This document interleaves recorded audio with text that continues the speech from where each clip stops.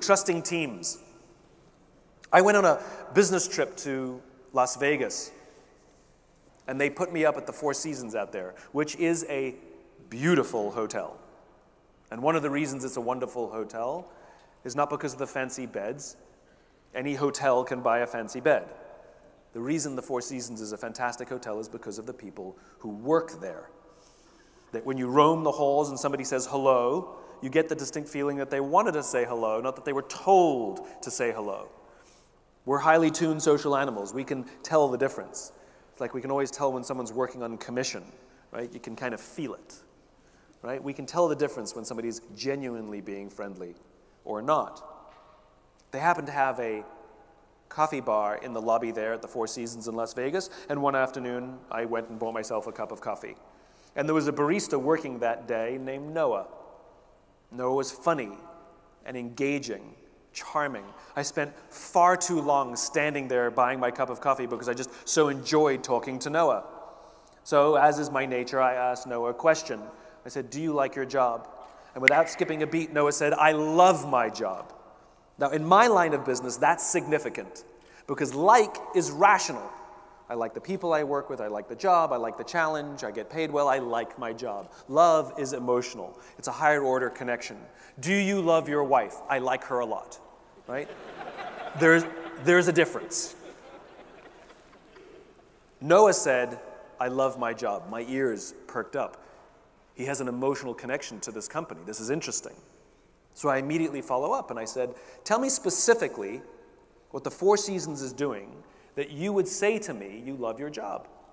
Without skipping a beat, Noah said that throughout the day, managers will walk past him and ask him how he's doing, ask him if there's anything that he needs to do his job better. Not just his manager, any manager. And then he also said, I also work at Caesar's Palace. And there, the managers walk past us and catch us when we're doing things wrong and make sure that we're making the numbers and performing and there I like to just keep my head below the radar and get through the day and collect my paycheck. He said, Only at the Four Seasons do I feel I can be myself. This is the exact same human being. And yet, the customer service experience that we would have meeting him at one hotel or the other will be profoundly different, not because of the person, but because of the leaders, because of the leadership environment in which he's been asked to work. I get this question all the time Simon, how do we get the most out of our people? They're not a towel. We don't wring them out to see how much we can get out of our people. It's a flawed question, which means we're going to get flawed answers. The correct question is how do we create an environment in which our people can work at their natural best? And the answers will be profoundly different. If you do not have trusting teams, what you do have is a group of people who show up to work every single day lying, hiding, and faking. Remember, a trusting team is when people feel safe. It's a trusting team is when people feel they can be vulnerable amongst their own. They can raise their hand and say, I made a mistake. Or you've promoted me to a position where I don't really know what to do. I think I need more training. Or I'm having troubles at home and it's affecting my work. Or I'm scared or I need help, without any fear of humiliation, without any fear of retribution. In fact, they say these things with confidence that their leader, their boss, their colleagues will rush to them to support them.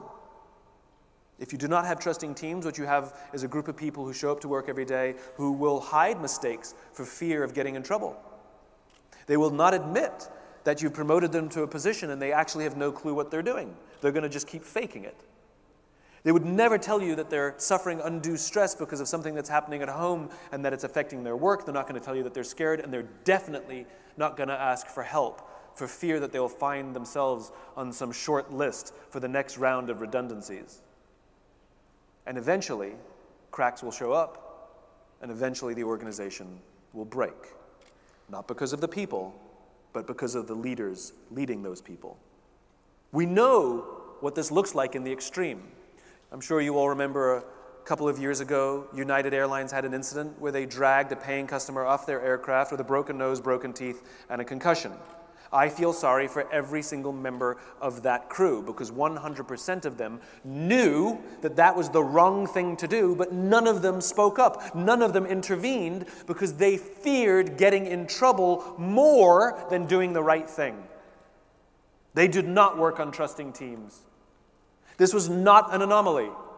This was a steady build over the course of years that eventually culminated in an event like that. I was witness to a scene that played out years before with United Airlines that gave a flag that something was wrong. A scene played out in front of me as I was preparing to board a plane where one of the passengers attempted to board the aircraft before their group number was called, which, as you all know, is a serious crime. And that is exactly how the gate agent treated this passenger. Step aside, sir. I haven't called your group yet. Please step aside and wait till I call your group, is how she talked to a paying customer. And so I spoke up. I said, Why do you have to talk to us that way? Why can't you talk to us like we're human beings? And she looked me in the eye and said, Sir, if I don't follow the rules, I could get in trouble or lose my job. What she revealed to me is that she does not feel safe in her own organization her leaders do not trust her to do the job for which she's been trained to do. And guess who suffers? Company, customer, and her. The reason we love flying Virgin Atlantic, for example, is not because they have some magical formula to hire all the best people. It's because the people who work there feel safe in their own jobs. They feel trusted to do the job for which they've been trained to do. And guess who benefits? Customer, company, and the people who work there. It is a leader's responsibility to set an environment. Leadership is not about being in charge, leadership is about taking care of those in your charge. Leaders are not responsible for the results, they're responsible for the people who are responsible for the results. And if you get the environment right, you get people like Noah. If you get the environment wrong, you get people like Noah. It's not the people, it's the leaders. Almost always, when there are performance issues, almost always when there are customer service issues, it's so rarely the people. Yes, we have anomalies, of course. But if on balance you find that there's issues, it's almost always the leadership and the leadership environment, and usually it's the lack of trusting teams. The job of leadership is to create trusting teams, and if you want to play in the infinite game, you must have trusting teams. One of the worst things about trusting teams is how you build them, because they're not traditional in the sense that we set a target, we're going to build our teams of trust, and we set out to build them. It's more of a practice. It's like getting into shape, it's like going to the gym. Yes, you want to get into shape. Unfortunately, you can't go to the gym for nine hours and get into shape. It won't work. But if you commit yourself to go to the gym every single day for 20 minutes, 100% you'll get into shape. Simon, how long is it going to take me to get into shape? I don't know. And that's the problem. Someone, some will respond quickly and some will respond slowly, and there is no formula. But we all 100% know that the process works. We 100% know that if you work out every single day for 20 minutes and eat healthily, 100% of us will get into shape. It's the same in leadership. There's no five magical things that I can tell you to do.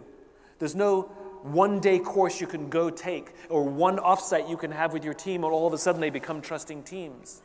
Yes, those things are important, but they're part of a process, a process that we trust in. That process is called leadership. Leadership is a lifestyle. And even when you achieve your goal, even when you get into shape, even when the trusting teams are built, unfortunately, you have to keep going to the gym for the rest of your life. It's a lifestyle. Leadership is a lifestyle. And the purpose of that lifestyle is to produce teams who take care of each other, who love each other, and feel valued and valuable in the organization where they work. That is your job.